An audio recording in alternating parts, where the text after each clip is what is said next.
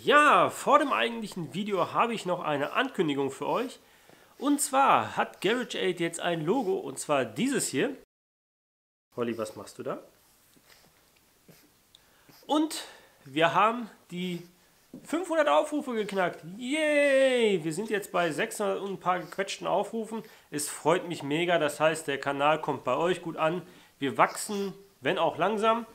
Ja, klar, 500 Abonnenten werden mir zwar ein bisschen lieber, aber hey, alles mit der Zeit.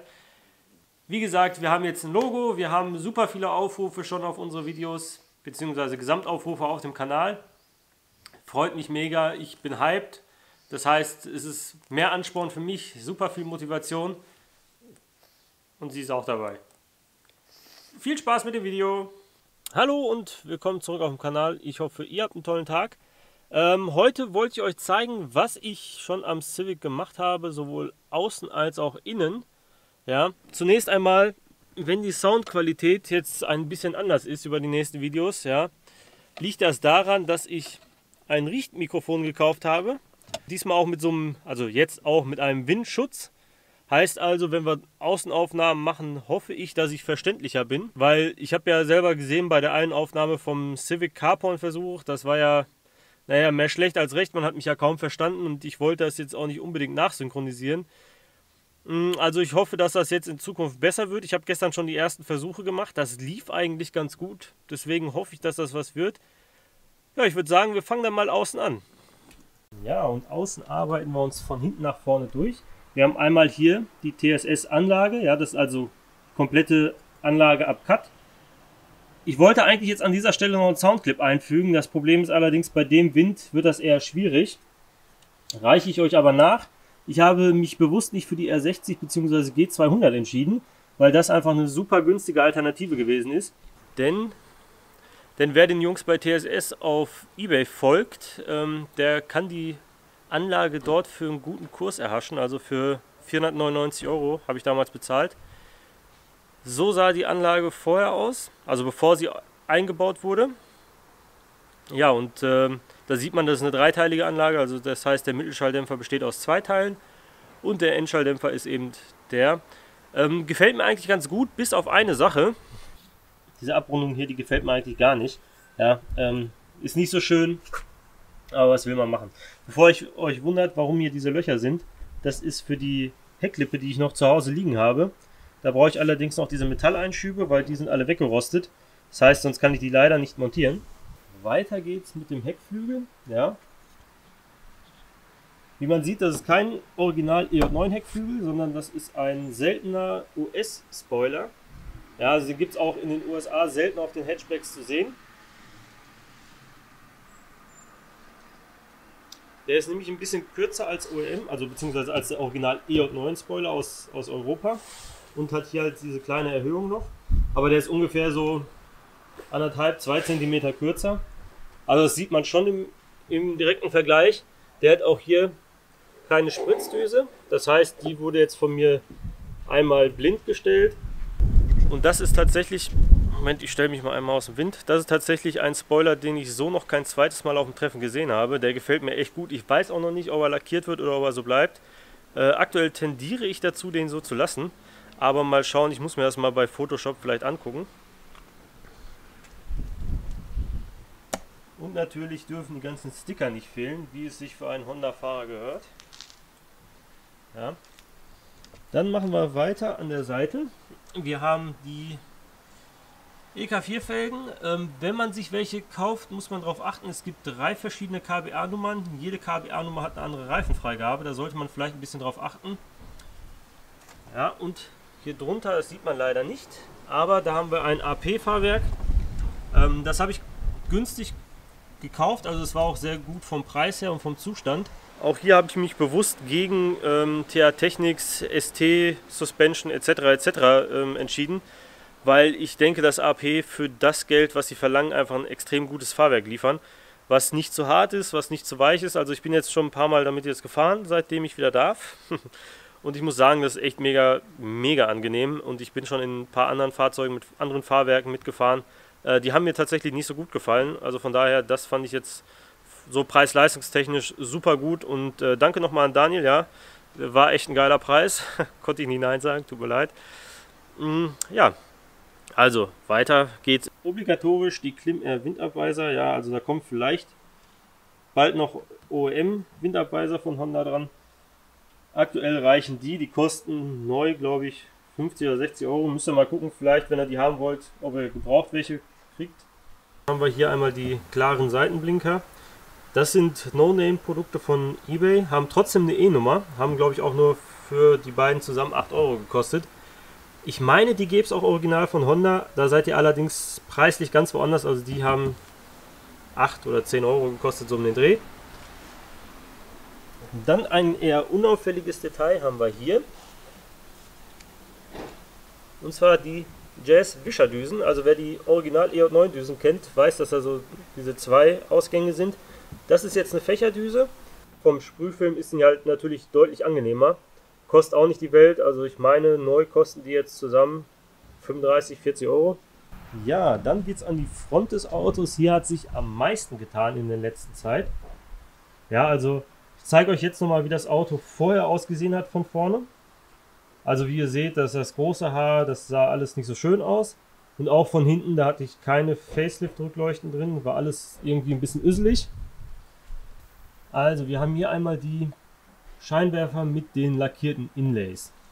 Scheinwerfer aufmachen, Inlays rausnehmen und dann selber lackieren, das ist alles gar kein Problem. Dann haben wir hier die nachgebauten Nebelscheinwerfer. Hm, die OM-Nebelscheinwerfer, dafür liegt der Kabelbaum im Facelift schon. Bei den nachgemachten nicht, das war ein bisschen krampfig, aber was ich dazu sagen kann, auf der Rückseite der Schürze ist bereits markiert, wo man mit dem Lochbohrer rein muss. Das heißt, es ist alles von der Montage gar kein Problem. Ich finde, die passen auch extrem gut. Auch die, die Montagepunkte sind alle schon fix. Dann haben wir hier das nächste US-Teil, beziehungsweise in diesem Fall habe ich es aus einer Civic Erdgas-Limo. Denn diese Baureihe gab es auch als Erdgaslimousine. Ja, das ist ähm, im Gegensatz zum Facelift hat der ein kleineres Emblem. Sieht auch ein bisschen schöner aus, sieht halt ein bisschen cleaner aus. Das Chrom kommt irgendwann noch weg, aber das erzähle ich euch in einem separaten Video sicherlich mal. Dann haben wir hier die Mugen Style Lippe. Da muss ich einmal ja, also die Mugen Style Lippe. Ich wollte eigentlich erst Spoon haben. Der Unterschied ist eigentlich nur, dass die hier oben einmal, also die Spoon einmal so hoch geht. Das macht die Mugen nicht. Das heißt, die sitzt natürlich deutlich tiefer von der Optik. Was mich im Endeffekt auch gar nicht stört. Ja, also am Anfang dachte ich mir, okay, es sollte schon irgendwie die Spoon sein, weil ich mich darauf so fixiert hatte. Jetzt allerdings muss ich sagen, die Mugen gefällt mir ganz gut und die kommt auch nicht mehr runter. Ähm, ja, das war es eigentlich von dem, was außen passiert ist. Ich weiß, das ist jetzt natürlich nicht so extrem spannend viel, aber das Problem, als ich den Wagen damals gekauft habe, musste ich extrem viel an der Technik machen. Also wir haben, also ich habe alleine, lass mich nicht lügen, vielleicht 1000 Euro nochmal in die Technik gepumpt.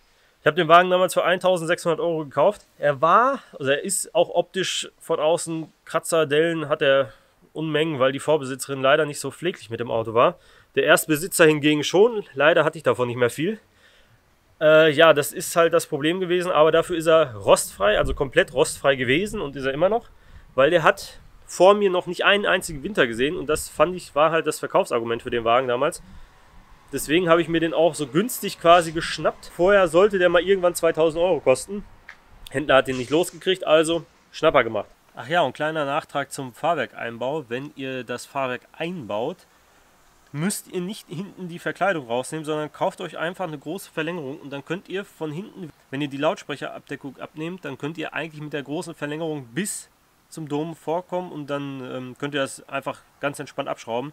Das geht ohne Probleme. Also wir hatten da damals auch keine großartigen Schwierigkeiten. Ich dachte auch erst, man müsste die komplette Verkleidung abbauen. Mm -mm, müsst ihr nicht. Ja, also lasst euch da nicht irritieren.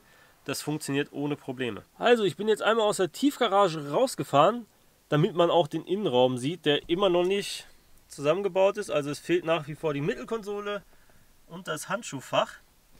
Soll uns aber nicht stören. Ich habe einmal den Innenraum so zusammengesteckt, dass ich ihn euch zeigen kann. Heißt also, dass alles, was ich verbaut habe, auch sichtbar ist. Und wir fangen an. Moment, ich mache einmal die Tür auf. Ich filme einmal quasi von außen in den Innenraum rein. Also wir fangen an mit dem Tacho. Den Einbau habt ihr ja gesehen. Falls nicht, guckt auf jeden Fall. Oben ist das Video verlinkt.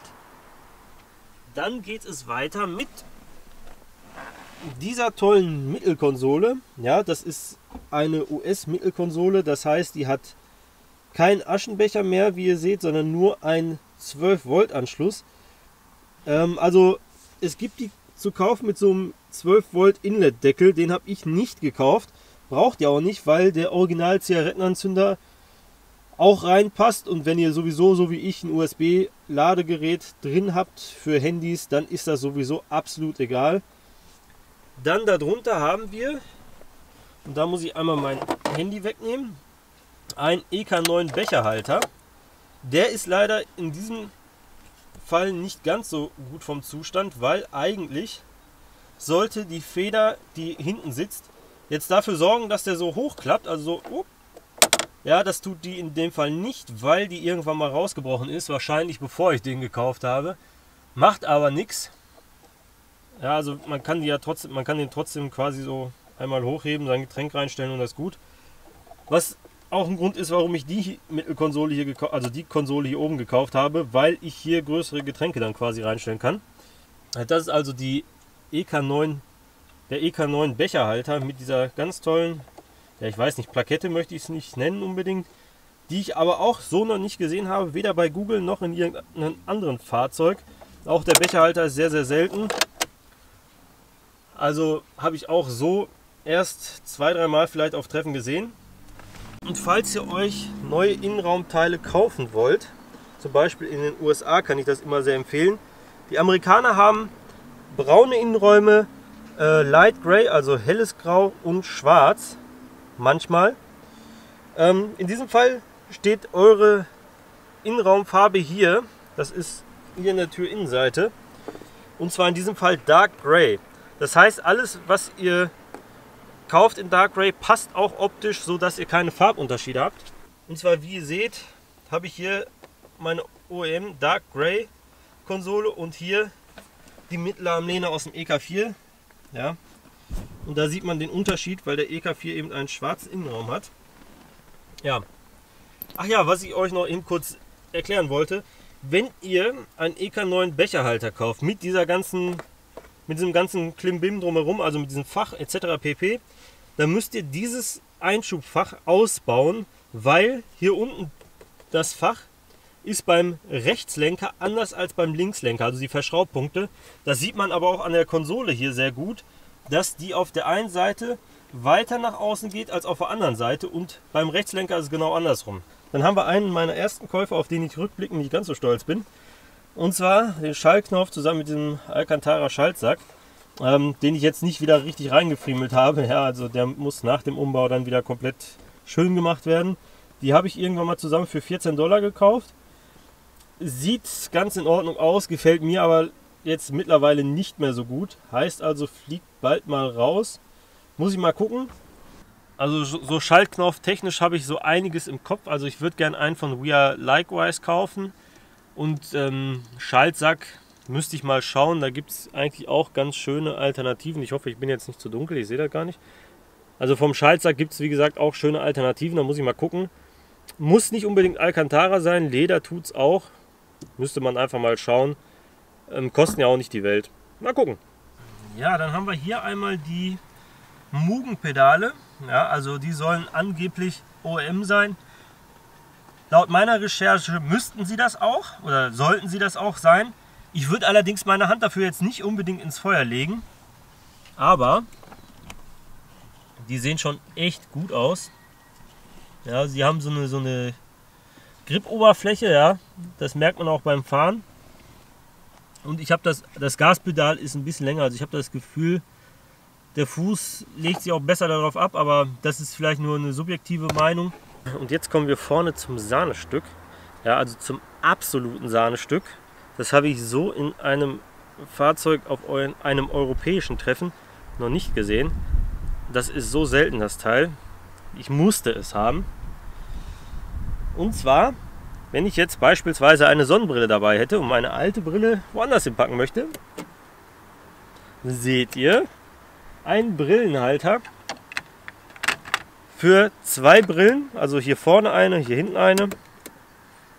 Ja, ähm, habe ich aus Thailand bestellt, hat mit Versand, glaube ich, 120, 140 Euro gekostet, irgendwo so um den Dreh war das. Ja, also das ist mein schicker Brillenhalter. Das ist eigentlich ein Riesenklopper. Man denkt erst, dass der die Sicht nach hinten beeinträchtigen würde, tut er aber nicht. Also man kann durch den Innenspiegel nach wie vor super durchgucken. Der wird hier auch quasi oben am Spiegel befestigt. Man muss also diese Verkleidung einmal abnehmen. Dann wird er drunter geklemmt, ganz normal verschraubt mit den normalen OEM-Schrauben und also die ihr sowieso schon drin habt und dann ready to go. Und dann sitzt er hier so schön und ist ein echter, echter Hingucker. Ich habe, wie gesagt, den noch nicht so gesehen oder überhaupt noch gar keinen gesehen. Wenn ihr vielleicht schon mal einen gesehen habt, sagt auf jeden Fall mal Bescheid, würde mich mal interessieren. Das ist die Abdeckung, die ich vorhin meinte, wegen dem Fahrwerkseinbau. In diesem Fall haben wir hier Boxen drunter, so wie das Serie gehört. Ja, also den gab es OEM mit Boxen hier hinten. Das sind auch OEM-Boxen jetzt drin, also keine Aftermarket Speaker, ja, also ich habe kein extrem krasses Soundsystem hier drin, brauche ich allerdings auch nicht. Und dann haben wir ein weiteres Bonbon hier unten, ja.